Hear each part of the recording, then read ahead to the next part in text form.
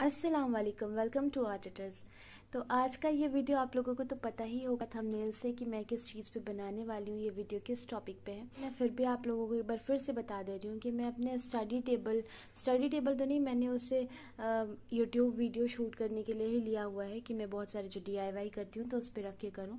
तो लेकिन उसका जो प्रिंट था वो अवेलेबल नहीं था यहाँ पर तो मैंने वही वाला ले लिया। ऐसे भी मुझे उसको रेनोवेट ही करना था। तो मैंने सोचा कि ठीक है, चलो इसको ही ले लेते हैं। तो मैं आप लोगों को बताऊँगी और मैं उसको रेनोवेट करूँगी जो वॉलपेपर आते हैं जिसके साथ मतलब वो अच्छे से स्टिक हो जाते हैं, उनके पीछे ग्लू भी रहता है तो उनसे ही मैं करने वाली हूँ रेनोवेट लेकिन आप लोगों को मैं बताऊँगी कि कैसे आप उसको करिए मतलब उस वॉलपेपर को किस तरह से स्टिक करिए कि वो बिल्कुल बहुत अच्छे से और बिना किसी बबल के अच्छे से एकदम पूरा सरफेस पे इवन पेस्ट हो। तो इसीलिए मैं आप लोगों को बताने वाली हूँ आज और दिखाने वाली हूँ कि मैंने किया भी था तो कैसे हो रहा था। तो फिर बाद में मैंने उसको कैसे सॉल्व किया, क्योंकि बहुत सारे वीडियो में तो ऐसा रहता है कि वो सही से दिखाते नहीं। मैं किसी को यहाँ पे ब्लेम नहीं कर रही हूँ, लेकिन हाँ बहुत बार मैंने भी देखा था तो मतलब समझ नहीं आता उन लोगों का तो हो जाता है, लेकिन हमारा नहीं होता तो गलती की थी। तो चलिए मैं आप लोगों को दिखाती हूँ कि आप कैसे उस तरह से आप बिल्कुल नहीं स्टिक करिए, क्योंकि उससे आपका पेपर बिल्कुल ख़राब हो जाएगा और सही से स्टिक भी नहीं होगा। तो चलिए रेनोवेट करते हैं, और लेकिन हाँ अभी तक अगर आप लोगों ने मेरे वीडियो को सब्सक्राइब नहीं सॉरी मेरे चैनल को सब्सक्राइब नहीं किया तो जल्दी से कर दीजिए। ये देखिए, मैंने वॉलपेपर ऑनलाइन ऑर्डर किया था तो ये मुझे आज ही मिला है। तो चलिए, पहले इसे देखते हैं, खोल के कि कैसा आया है अच्छा है या नहीं। तो मुझे ना कुछ ऐसे वुडन टाइप का टेक्सचर चाहिए था, लेकिन मुझे उस कलर का नहीं चाहिए था ब्राउन या फिर कुछ। तो मैंने इस तरह का ग्रे और वाइट का टेक्सचर वाला मतलब डिज़ाइन था, ये बहुत प्यारा सा मुझे लग रहा था तो मैंने इसको ऑर्डर किया था। तो ये फाइव सेंटीमीटर का है forty into five hundred centimetre something कुछ है तो मैं डिस्क्रिप्शन में लिंक दे दूँगी तो आप वहाँ से देख सकते हैं। और ये मेरा है टेबल तो इसका प्रिंट मुझे बिल्कुल पसंद नहीं आ रहा था, क्योंकि बहुत ज़्यादा मेरे रूम में बिल्कुल नहीं जाएगा और बहुत ज़्यादा कलरफुल है तो इसलिए मुझे एकदम अच्छा नहीं लग रहा था, लेकिन वहाँ पर एक ही अवेलेबल था तो मैंने ले लिया। मैं सोचा इसको रेनोवेट ही करना है इसके लेग्स भी ग्रीन है तो इसको पहले मैं गोल्डन पेंट कर रही हूँ यहाँ पर तो आप कोई सा भी पेंट यूज़ कर सकते हैं। लेकिन मैं सजेस्ट यही करूँगी कि एनामल पेंट यूज़ करें, क्योंकि अगर अगर आपको बाहर नहीं रखना है, बहुत ज़्यादा ये धूप में नहीं रहने वाला तो आप कोई सा भी यूज़ कर लीजिए, उसके बाद, उसके ऊपर वार्निश लगा दीजिए। तो मैं इस तरह का गोल्डन पेंट यूज़ करी हूँ यहाँ पे। तो चलिए, इसके लेग्स को मैं इस तरह से पेंट करी और पीछे की साइड पे मैं कुछ भी नहीं करूँगी, क्योंकि वो ऐसे भी नीचे रहेगा, दिखेगा तो है नहीं। तो मैं बस इसके लेग्स पहले गोल्डन पेंट कर लूँगी। तो चलिए बस कंप्लीट होने ही वाला है। तो चलिए इस इस तरह से पीछे से जो पेपर होता है उसको आपको हटाते जाना है और इस तरह से प्रेस करते जाना है। तो ये देखिए मैं यहाँ पे कर रही थी इस तरह के कपड़े से, एक कपड़े के हेल्प से। तो इस तरह से कितने ज़्यादा बबल्स में आ रहे थे और मुझे कितनी ज़्यादा परेशानी हुई। आप देख रहे हैं मैं बार बार इसको ऐसे प्रेस कर रही हूँ, लेकिन फिर भी वो जो बबल और वो जो इस तरह की लाइनिंग बन जा रही है, ये अच्छे से हो ही नहीं रहता और मुझे बहुत ज़्यादा मैं इरिटेट हो रही थी कि बार बार और बिल्कुल अच्छा नहीं दिखता है अगर इस तरह के लाइनिंग या फिर कुछ भी आपके बबल्स आ जाए तो एकदम अच्छा नहीं लगता है लगता है कुछ चिपकाया हुआ है और उस तरह का मुझे चाहिए नहीं था।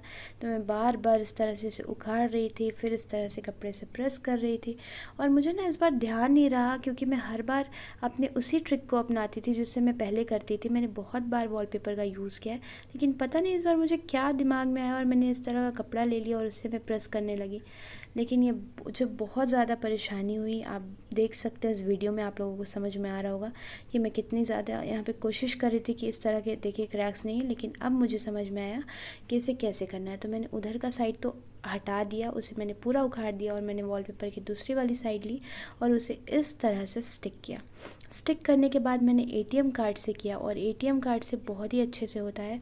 जिस तरफ़ आपका वॉलपेपर खुल रहा है उस तरफ़ आपको एटीएम कार्ड को प्रेस करते जाना है और इस तरह से लगा लेना है। तो देखिए कितने आसानी से एक बार में लग गया। अब मैं साइड्स के पार्ट को बिल्कुल कट करके हटा दे रही हूँ, क्योंकि मेरा जो नीचे का पार्ट है वो बिल्कुल वाइट है तो मैं उसको वैसे ही छोड़ूँगी। तो इस तरह से आप भी किसी भी चीज़ के हेल्प से इसके इसको कट करके हटा लीजिए और अब मुझे इसके साइड में जो आधा पार्ट बचा था उसमें लगाना है। तो मैं इस तरह से लाइन मैच कर रही थी और मैच करने के बाद काट रही थी ताकि ना मेरा जो डिज़ाइन है वो बिल्कुल भी गड़बड़ाए नहीं, बिल्कुल अच्छे से आए, जो पूरा डिज़ाइन है वो। ऐसा नहीं लगे कुछ किसी चीज़ को मैंने पेस्ट किया हुआ है।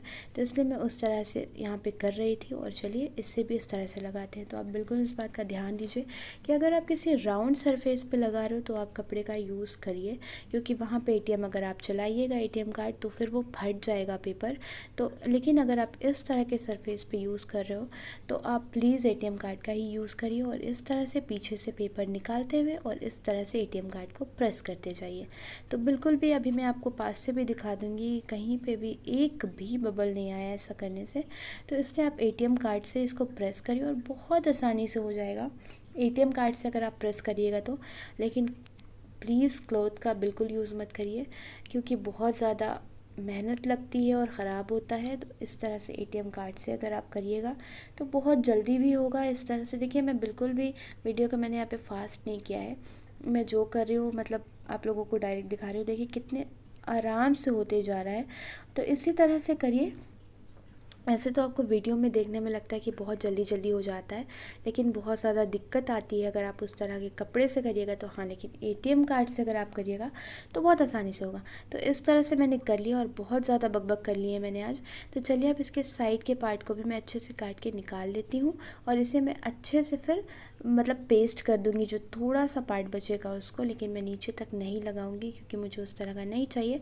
वाइट बॉर्डर ऑलरेडी इसमें दिया हुआ है तो मैं वैसे ही छोड़ रही हूँ। अगर आप चाहें तो इसको फोल्ड भी कर सकते हैं, लेकिन मैंने नहीं किया है। तो चलिए, इसको, इस तरह से मैं हर साइड को अच्छे से कट कर रही थी डिटेल नाइफ़ की हेल्प से। तो इसी तरह से कट करके मैं रेनोवेट इसको कर रही हूँ और कोई ज़्यादा बहुत परेशानी नहीं आ रही थी। आराम से कट भी हो रहा था इस तरह से और इसको फिर इस तरह से मैं प्लेन कर दे रही थी।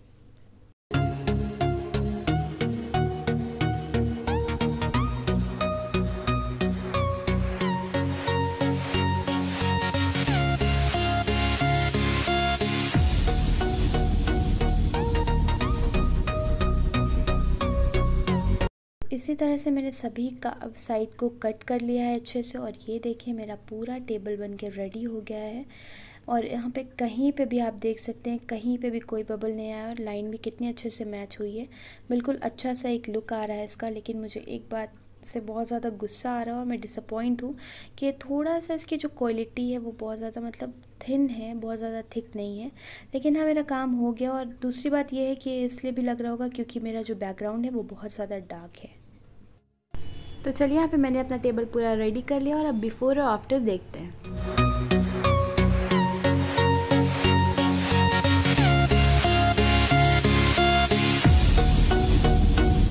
तो ये देखिए, अब ये कितना ही प्यारा लग रहा है और मतलब बिल्कुल अच्छा सा लग रहा है। कोई बात नहीं, अगर हल्का सा दिख भी रहा है तो। लेकिन मुझे इसे ऐसे नहीं यूज़ करना है, मैं अपने नेक्स्ट वीडियो में इसका यूज़ करूँगी और बहुत अच्छे से मुझे इसका यूज़ करना है और एक सेटअप रेडी करना है। तो आप लोग मेरा नेक्स्ट वीडियो ज़रूर देखेगा लेकिन अभी के लिए अगर आप लोगों को ये सारी इन्फॉर्मेशन और जो भी मैंने टिप्स दी और ये जो वीडियो था, ये अगर पसंद आया होगा तो इसको लाइक, शेयर और कमेंट और मेरे चैनल को सब्सक्राइब ज़रूर से करिएगा। Thanks for watching.